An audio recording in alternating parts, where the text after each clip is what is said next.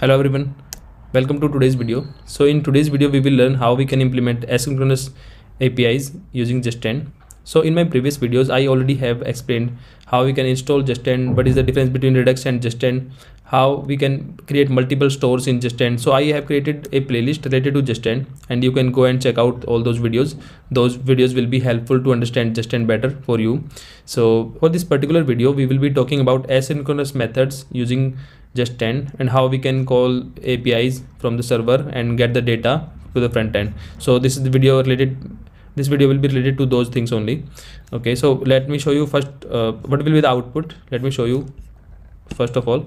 So this is the button okay and if i show you here this is uh, this is the network tab okay and inside this network tab if i click on this show product details so so i will be fetching uh, some product details from the server and then i will be showing here.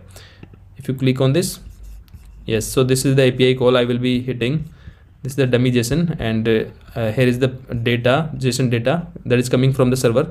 And uh, here i am showing this data on the front end okay? So this is the thing we will be creating in this tutorial okay? And it will get you it, it, will give you some understanding how we can implement api calling in Zustand it is very easy and we will get all the things in five minutes only. So let's jump into into the code now so this is a uh, this is create react app uh, project okay? So there is no, nothing fancy in it. I have done some modification. I will show you one by one. So this is the thing. And first of all i have to install uh, Zustand inside my project.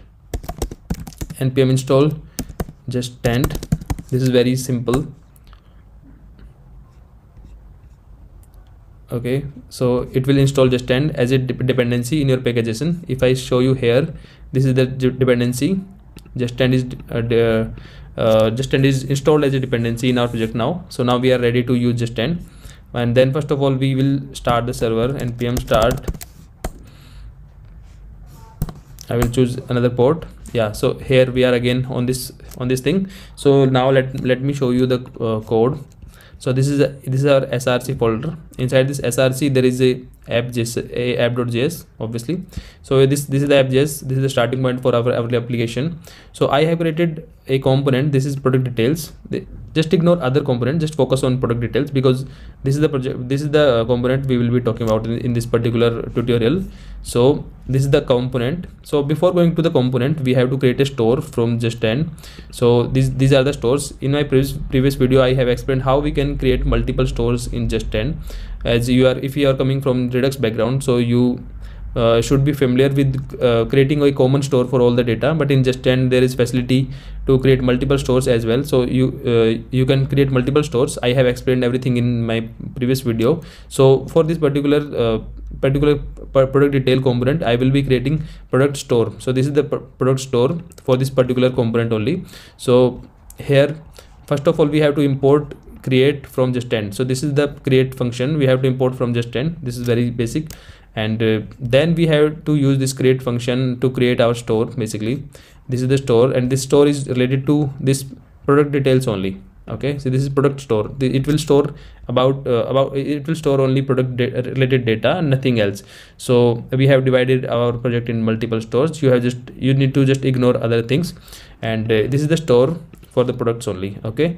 And inside this this is the product okay? This is the data but what will we, we will um, get uh, we will be you know filling from from the api response. And this is is loading is loading true or false. So it will set the loading status for our application. And this is the error. And this is the page data. So this is the asynchronous function uh, we will be calling uh, to get the data from api so if you are familiar with redux so there there, there we had to use thunk but there is no such concept in um, in Zustand to use asynchronous methods. You can directly use asynchronous calls. It, it is very simple. They have just removed all the thunk and everything those middlewares you don't need anymore here in Zustand so you have to just uh, use fetch data method. Let me explain you how we can how we can create this method. So this is the fetch data. So first of all we have to make it asynchronous because we will be using await inside it. And uh, when it when it when the body starts so we will set uh, is loading true because uh, it will set the loader as a true. So loading is loading is our uh, store variable. So we will set it true. Okay? We will use set function. As i explained in my previous video that Zustand will provide you the this set function and you have to just pass the data inside it and it will set the store variables values. Okay so you, we have to use set and then uh, use is loading true and then we have to use try block for the safety and for the inside the try we have to make the api call. Now i am using this dummy json uh, website so it will pro provide you some dummy data. Um, uh, okay so i will create a this fetch. I will use this fetch and then await okay to make it looks synchronous but it is still async guys. So if you want to get a video uh, ready to await async and everything promises so i will create i will also create that video. You can write down in the comments. So this will uh, this will give you the response from the api and then we will convert that json response then response into json and then we have to give the data and this data we will be storing in our in our product so again we, we will be using the set function from from Zustand to set our product variables. So these are the product uh, project product object and we have to fill this product object from uh, from from data. So what we are coming for what we are getting from api okay so so now this is the catch block obviously for the catching the errors. And this is the final block. And on final block we have to just you know is loading is false. We have to set is loading false. And it, that's it. So it is very simple and basic workflow guys. So now now we and we have to then export this store. Now we have to use this store in in our uh, component. So now we will go to uh, our product details component. This is a product detail component. And here if you see inside this we have to first of all uh, we have to first of all import this product store from the store and then this product store we have to use because we have to call this function because this is a uh, this is a hook based function because in my previous video I explained Zustand is totally hook based. So this is the hook. Basically we will get this store like this. We have to call this function product store.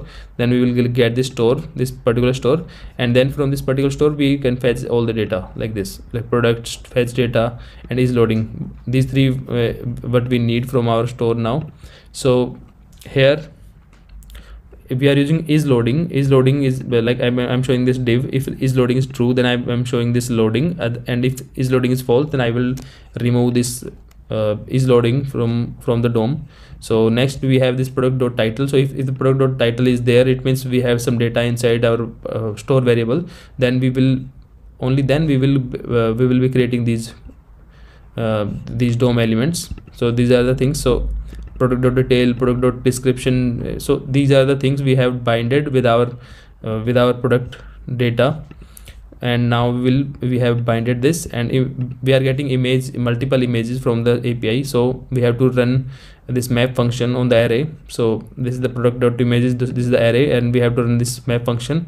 And one by one we have to create the images and show all the images uh, on the on the front end. So this is how we we can use the we, we can use uh, API data it is very simple very simple. Unlike Redux you don't need to use any thunk or middleware. You create any actions you run your reducer and then everything. So there is there is too much complexity in redux. So Zustand is very plain and simple they're very very uh, straight to the point concept. Okay so here we this this is the button hit the button and I, I have to click this fetch data. On click I will hit this fetch data and that fetch data this fetch data will show show the uh, this fetch data will show. Here this fetch data will fill the product data and that product data will, will reflect here. Like this. Okay and then this product data will be shown here. Okay so this is very simple. So let me show you to run again uh, run it again.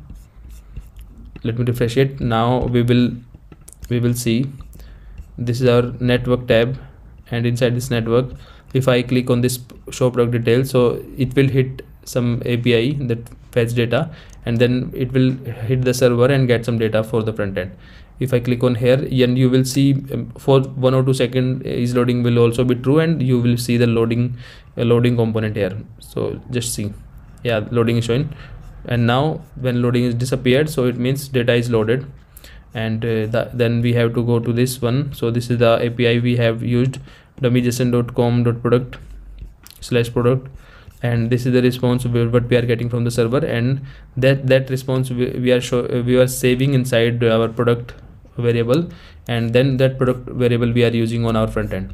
So this is the uh, data flow for in case of Zustand api calling. So this is very simple. So we are just showing this data and there's nothing fancy in it. So uh, this every every data is inside our product store variable and we are just binded this data with the, these dom elements. So that's it guys. So i hope you like the video. If you want to learn more about Zustand you can watch the left left video